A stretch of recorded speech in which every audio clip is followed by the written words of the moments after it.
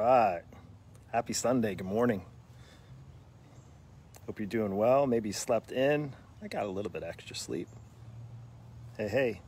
Hey, if you come on here live, let me know you're here. Give me a little thumbs up. This is Mark Avens, The Daily Dose, episode 91. I didn't get eaten by a shark. If you watched yesterday's episode from the Atlantic, I made it in safe. I didn't even get stung by any jellyfish, so that was definitely a plus. I won my Saturday for sure. I stayed alive. And I hope you did too. I hope you're having a great weekend. And uh, welcome to the Daily Dose. Just to share with you what the Daily Dose is a daily dose of encouragement 91 episodes ago, 91 days ago. I started this daily show on Facebook um, to just share some encouraging words, to give you some value, to provide. Um, in a in a time where we're all just discouraged and angry and bitter. And I even find myself kind of going down rabbit holes and getting frustrated and, and angry and, and upset and, and you know it's it's one thing to respond, the other thing to react, and it's hard. It's hard. But I hope today, and I hope this daily dose finds you well, and I hope it provides you a bit of encouragement and uh, get you maybe motivated, inspired for the week ahead. We're going to talk about tips to win your body back over 40. Um, I shared several weeks ago, maybe three or four weeks ago on a Sunday about how to win your Sundays, and it kind of goes in lines with that. But right now, I want to talk to you about tips, seven tips. Gosh, there's so many tips. Uh, over the last 25 years, I've been helping people with tips to help win their bodies back, to help win their health back, to help get that weight off, to help get on a on a, a healthier path, uh, and which is truly, in my personal opinion, a better path to be on. And I think you'd agree, a healthy path, healthy path, is the best path the best path to be on. So I don't know if that's a tongue twister. So we're gonna we're gonna share in the next few minutes seven tips to help you win your body back. And let's just talk about why do you want to win your body back? Well, you know, I'm getting older, Mark. I'm just okay with my body. And, and you know, I've, I've realized that it's just not going to be what it used to be. And I've had children and had a desk job for a while and, and my metabolism's different. My hormones are changing. And, and I know, I know while those are the things that sometimes cross people's minds and it's an easy chance to give up or to make excuses or whatever it is. And not to say that you have to be, you know, like super lean and super fit. But the reality is, a lot of people just are the other direction. They're kind of gone down that road of being unhealthy and overweight and not, you know, self confident and not having an appreciation for their personal health. So I want to share with you some tips so you can win back your body. And I say body, win back your body and get on a really, really great path. So one of the things, you know, while I think I shared a couple weeks ago about on Sunday, and I have the notes here. I have a book full of notes, 90 pages of notes, 91 pages of notes. And uh, we talked about habits to prepare yourself. And one of the things on Sunday is to sleep in. And I admit I do sleep in a little bit on Sunday, but my morning typically is structured in the sense that I get up at 4:30. So Hey, good morning, by the way. Good morning, Gina, and good morning, Samana. sorry if I pronounce your name, and Mark. And Shauna, good morning to you. Appreciate you for being on here. Thank you, thank you. By all means, too, the only thing I ask in return for this, if I if this provides value to, which I hope it does, and hope if you're spending the time listening to me that I provide a lot of value, and if I do, just share it with a friend. That's all I ask. Give me some thumbs up. Let me know you're here. Uh, feed off of that. Of course, we get those endorphin kicks from those likes and loves. So I talk about starting your morning off slow on the weekend this is the backyard and you see it was rain and we had the hammock up. It was it was up because the rain was coming down yesterday. But to start your mornings off on the weekend like on a sunday just kind of taking your time. But i know the week's coming around and you maybe have a schedule. So i'm going to say number one to win back your body is to set an alarm and I say set an alarm on your. Now you may be able to get up without an alarm, but I would say if you tend to hit the snooze button and you tend to like roll over in bed and not want to get up, is to really make it structured time that you get up at a certain time. Now, if you need to get your exercise in, that could be helpful to have yourself set your time and say, hey, I know the only time I'm going to get my workout in as early in the morning or I'm going to be able to prep my food for the day as early in the morning. So make sure while you may be sleeping in today is that you set yourself a time that you're going to get up. And when you get up, you get up at that time. There's some discipline that you need to do, but you have to start somewhere. Even if you give yourself a little leeway on the weekends, like I do, which is okay, um, but definitely to start off, while you may start off your, your day on Sunday slow, today's today's the day get to get ready and prep for tomorrow to make a plan to have yourself set up at a time. So that's first, getting up, right? And then the other thing is you're gonna probably need a to-do list. So like, so like how's that gonna help me win my body back? A to-do list will be able to Give yourself what your objectives are for the day, what you need, your goals set for the day. Now, you have your to do list. We talked a little while back about a not to do to do list. Well, it's good to have those. In other words, things that may be taking you away. And I know there's things that I struggle with. I'm, I just going to be completely transparent. I get stuck and I get distracted. And then I realize that the things that I needed to get done didn't get done. The day is done. And then I have to start all over the next day. And I don't know if you can feel me on that, um, but it is. It's uh, definitely easy to get distracted these days, it seems, for every, on all different aspects. Um, but I would say is to write while you're writing a not to do to do list. By the way, what that is, is basically writing a list of the things that you don't need to do. But at the same time, now you have this open space, this maybe magic time, if you will, and time where you can fill in the gaps of saying, hey, I need to prepare my foods. I need to make sure that I have time for me. I need to make sure I get my work done. I need to make sure that I have some time for my family. So those will be helpful. Why is that helpful? Because you have that kind of structure. You can win your body back, and then these all things connect right? It all connects. So having the structure, you can schedule out your workout, schedule out the time that you need to maybe make dinner or lunch or prepare prepare for the next day. That's really really the key. So make sure you have again, it's pretty straightforward. Make sure you have that kind of structure. Number 3 is to schedule it in. Okay, just write it on a piece of paper, but actually schedule in your phone, make reminders. I know one of the things that people uh, in my coaching program. By the way, I am an online fitness coach and I, I started what's called the Lean Body Breakthrough. It is a specific program designed for busy moms and dads over 40 who are looking to lose weight and keep it off, not just lose weight, keep it off without long workouts and impossible diets. Now, if you want more information, you can share with me that. But I would say is one of the things I tell my students in my program, it works really well, is to set alarms. Set alarms. You want to drink more water? Set an alarm for the day. Hey, I need to have 75 ounces of water per day. Okay, so make sure that if a 30 year day is over, make sure you have 25 ounces of water. Set that alarm. Hey, did you drink 25 ounces? Put that on your phone. It's easy to set alarms. So that's very helpful. But just in that is scheduling it in your planner, schedule it in your phone. Today could be the very first day that you actually use your phone outside of looking at social media, watching lives like mine, and actually using your schedule in there to plan some things out. And that's how you get that structure and how you win. And how you win your body back is being able to, to do the things that are going to help you win your body back, like exercise, eating healthy, maybe taking some dime time, diet, downtime, downtime. Okay, I got that right. That was three. Number four. We got we're going on. Number four. Here's one of the big ones. Is as I say, meal prep. If you could just plan, if you're like a, we're a family of four, is to plan out. Today could be a perfect day that you plan out. Okay, my wife and I do this. We're not always perfect. What we try to do on Sundays, most of the time, 80% of the time, is we'll write down and we'll say, hey, Monday, Tuesday, Wednesday, Thursday, Friday, Saturday, Sunday. And now we're not going out. We've been able to go out to eat a little bit or take food in. Did it over the weekend. Typically, we have our date nights Thursday night. So that's kind of already like a non negotiable. So Monday, Tuesday, Wednesday, Thursday, we have to make food. So we just make a list, a menu. It takes like 10 minutes. Hey, this is what we're going to do today. Typically, Mondays we grill. Tuesdays we do something with tacos. Wednesdays we maybe have leftovers or we'll do maybe breakfast for dinner. Thursdays is date night. Fridays we sometimes do together. Maybe we'll do a grill again or we'll make something kind of like fancy, if you will. And then on the, depending on what the kids are doing, then on Saturdays and Sundays, it's kind of hit or miss. So again, but having that menu for your family could be really, really helpful. And when you're making a menu, you can also plan out how to win my body back. Well, what does that have to do with the body? Well, you can plan out the healthy meals by having that menu. Then you can make, if you need to adjust some things for you and for your kids, then you can do that, right? So then the next thing is, of course, your workouts. Workouts. Say how many, plan out your workouts. Here's the thing. It, does this, is there a common theme going on here right now? The common theme is, hey, Linda and Bridget, uh, Bridget, I think, and Dave, what's going on? Appreciate you. Thank you for joining here. Just want to say hello. Thank you so much. And Sarah, appreciate you as well. Hope you're all doing really, really well. It's really nice to see people, some familiar faces, some new faces on here. Thank you, by the way, for listening. We're talking about the seven tips to, to win your body back, seven helpful tips. Now, I was just talking about planning your meals, but then let's planning your workouts. And we touched base a little bit of that as far as having a plan and then make a goal for yourself. How many workouts do you want to get in? Well, it's easy to say to yourself. Like you can like put it in your mind, say I'm going to work out 4 times this week and then you work out 2 times. Well, again, put it down and actually to map out what you want to do.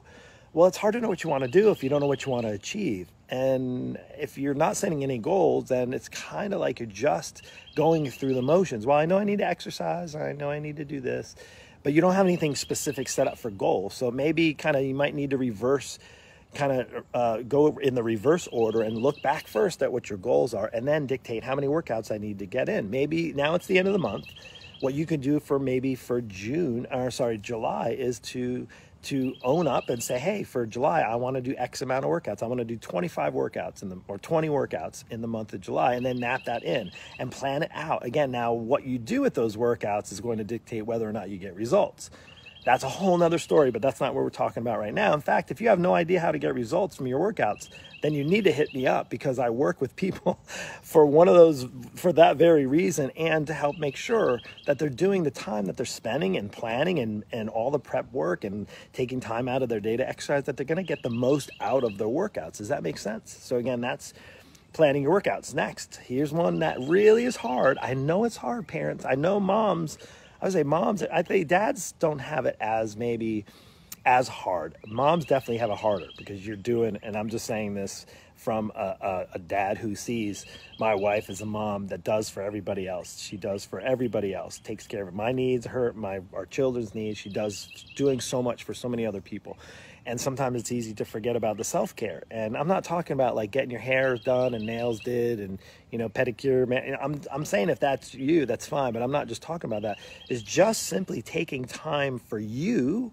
taking time hey dave taking time for you away from the not uh, away from the mess. Maybe it's just going for a walk by yourself. Maybe it's just going for a drive in the car where you're not going to work, you're not going to the grocery store, you're not taking the kids to the ball field, although not many people are doing that right now, but you're actually just doing for you. Like that's uh, and and I say that is because when you can reduce if that helps to reduce your stress levels, guess what? It helps to reduce maybe those stress hormones. And maybe guess what? It reduces those cortisol levels. And guess what? That could potentially be what is the main problem keeping you from your best body. Does that make sense? I hope it does because it is part of it and it's what I've seen. I've seen time and time again where women dial in their workout, men and women both. They, and I'm not being biased here by no means, but I will say is and in in a uh, a negative way is that I do see often women, men don't have it too hard. They tend to be pretty open. We keep things in compartmentalized and we're able to take care of uh, ourselves. And maybe we just are taking care of ourselves as having beers on the weekends, right? Whatever that looks like. But I will say it seems to be for guys, they have a little easier, uh, uh, easier way of taking time. I know it's not that hard for me. I'll go for paddleboard, I'll go work out and I'm good to go. Um, but I know my wife has to be intentional, and I know other women that are in my coaching program, we really have to focus on the intentionality for self care. Self care is truly what sometimes is the biggest factor getting in the way of your best body, right? And I'm talking about this over 40. Why did I put this over 40? Because it gets harder when we get older. There's more responsibilities, and you're like, no, no, no, my kids are. Now, here's, I'm to share this with you because I found this I've, I've kind of discovered this is when we get older, our kids get older. Now, my kids are teenagers. I have a 17 year old next week and I have a 15 year old. And while they're definitely more in- independent than, say, younger kids, is that now we have parents who are less independent and require a little bit more help. And then our, our, own selves, it's harder to take care of ourselves as we get older if we're not very mindful of that. So self care is really, really important on that. That's number six. Number seven now, I would say is now I won't say that to get to bed early. Like, and I mentioned that as far as like, hey, it's really helpful to get to bed early. But this is more important. Whether you're a night owl or you're like you go to bed at eight o'clock, nine o'clock, ten o'clock, whatever, and you you have six, seven hours sleep. When I say go to bed early, the biggest thing that I can help you for your body, and this is really, really, I want you to chime in on this all those other things included in there is what's the biggest thing that keeps people from getting in the best shape of their life 40s, 50s, 60s, and 70s. It typically is consistency, is the consistency. You're going to hear that, right? You hear that all the time. That word is almost like people throw it up almost like they're talking about um, the, the coronavirus. I got to be consistent, got to be consistent, got to be consistent. Yes, yes, consistency. So, your sleep habits, if you have fluctuating sleep habits. In other words, if you go to bed one night, say on a weekend at nine, and then during the week it's like 12, and then you get up in middle of the night, and then you get up maybe at four in the morning, and then the next. If your sleep habits are off, it's going to be really hard because what happens, your body likes Your body likes the uh, similar things. It likes the homeostasis, if you will. It likes being synergized with the food you eat and the exercise and the sleep. Those are the things that you need to dial in. That's essentially the difference between. I had a conversation. Well, Mark, why? You know, I've tried this diet. I tried keto and HCG diet, and I tried the Weight Watchers, and I tried the trainers, and I tried this, and it nothing worked. I tried uh, counting macros. I tried counting calories. I tried all those apps. I tried using a Fitbit. I tried personal trainers. I tried this. I have this conversation often with people. I've tried all these things and none of them work. And you know why? The difference is you're relying on, you're focused on one thing. Typically, people are focused on one thing it's on the diet, it's on the exercise where you need to synergize it. In other words, you need to get things working together, like in a system, like an ecosystem, if you will, your body, your sleep habits, your self care habits, your eating habits, your workout habits. All of those things combined. Your sleep habits. Did I say sleep habits? Those things combined all of that, if you can start to work on those things, you can truly win back your body. And the list of the seven things that I just talked about right now are ways to help you win back. Hey, Patty and Cindy and Christy are ways that you can win back your body. Now, okay, Mark, you told me all these things. How to do that? Well, that's pretty much what I do for a living. You see, the difference between what I offer as a fitness coach and what typically things that people are attracted to that are marketed really well, mass marketed, it's the the the crazy hard workouts, right? The over the top workouts that are not appropriate for people over 40, unless you're already gifted in that department, unless you already have a background in exercise and training and coaching. If you've maybe been an athlete your life, then those are typically really great and really great for you if you are in that department. But the majority of people are not. The majority of people have been struggling, stuck with their weight for a long time, maybe years, 5, 10, 15 or more years, is that it's hard. It's really hard. Not that it can't work, but typically injury gets in the way and stuff. But the same thing with diets. Why do diets only work the time you do them? Because you're only relying on the diet to do the work. You has to be a there has to be a, a, a shift in the mindset. And once the mindset shifts to like, hey, it doesn't have to be perfect, but I know the best way that I can get weight off and get my best body back is if I start to dial in, start to dial in. All right, we're gonna dial in. I'm gonna be here. Here, let's do this you start to dial in your nutrition. What your needs are in your 40s, you start to dial that in. And guess what? And then you start to dial in on your sleep habits. And like, how do I improve my sleep habits? Well, you know, here are the steps. Start to dial in my exercise. And then I start to dial in self care, start to dial in on uh, what else do we have here? Mindset. Then after that, then we start to dial in those things. Okay, well, I know these are all the things I need. Well, I got to now make a plan. Now I have to have some structure. Now I have to put my schedule in order. Now I have to really, now it sounds like a lot. It sounds like it's so much work on the front end. It really does. It sounds like, oh my gosh, how am I going to do that? There's no way possible. I can't even eat healthy during the week. How am I going to eat healthy and get all, well, they start to work together for you. Again, that ecosystem, they, when you start to work a really good quality plan, then guess what? Your plan starts to work really well for you. And if you want to get your body back, if you're over 40, again, why I'm saying this now, because Sundays are the times where like, oh, Mark, I did, I overdid it Friday, you know, I wasn't planning on drinking so much. And then I went off the rails a little bit with my plant, my program. And then, you know, I went on the scale on Saturday and, or Sunday. I know I have to, you know, now, now my students have to take progress pictures and measurements and get on the scale and report to me. So again, there's a lot of extra accountability, but there, there's uh, times where the weekends get and you get in the way. There's the saboteurs that happen, and you end up sabotaging your efforts. And uh, unfortunately, people that are relying on say one thing, I'm going to rely on what how many calories I'm burning. I'm going to rely on uh, how many macros I'm eating. I'm going to rely on you know, on this pill or I'm going to rely on the 500 calorie diet. Please, just whatever you do, just tell me, just please just don't do this. Please, please, please, please, please. Please don't think that 500 calorie diets are going to get you in the best shape of your life. They're not going to get your body back. Please, please, please, in addition to that, please don't think that just because, notice I said I didn't say weight loss in the topic your title, as to get your body back over 40 to get your body back, get it back into the best health. So here's the thing you don't get your body back into best health by just losing weight. You get it by actually taking the excess weight off and getting your body in shape. You can't just get in shape by losing weight. That is not getting in shape. That's losing weight.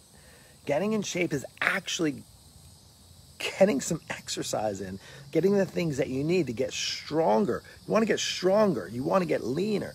You want to get more fit, to have more stability, have more balance. Those are the things. You want to do something for your metabolism. The worst thing you could do is a 500 calorie diet. It's going to wreck your system. In fact, I've seen it time and time again. So here's the thing. While I share with you the seven tips to win your body back over 40, if you want to win your body back, you got to stop losing at all those other things that we were talking about. Just stop. Just actually don't give up. Don't give up. But don't think that it's easy as easy as having an app on your phone or having, you know, having just the diet to do the trick or having these pills to do the trick or having this cleanse to do the trick or having this hardcore workout to do the trick or think that hours and hours on a treadmill is going to do the trick. Those can all be helpful tools that you can use and people use them all the time, but isn't truly that's going to what's going to get your body back. It requires consistency and it requires maybe taking a look at those seven things as your first, your next step this week.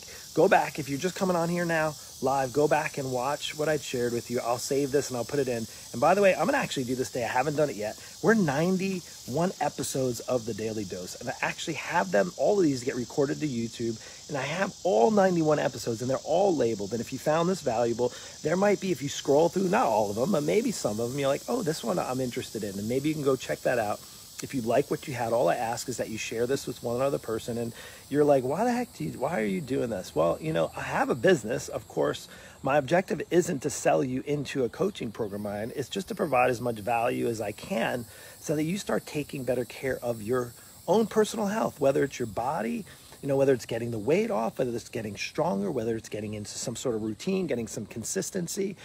And if you don't know what that looks like, of course, of course, reach out to me. We'll talk about it. We'll see if my lean body breakthrough coaching program is a good fit for you. I know it's not a good fit for you because I'm really at the point in my life I'm only looking for success stories. So if you want success and you're having a hard time finding it on your own, and maybe you want to have like a successful body in a sense, you want it back you can over 40. I see people over 40 and over 50. And if you haven't seen any of my testimonies, there's a whole bunch more coming that I'm proving it time and time again.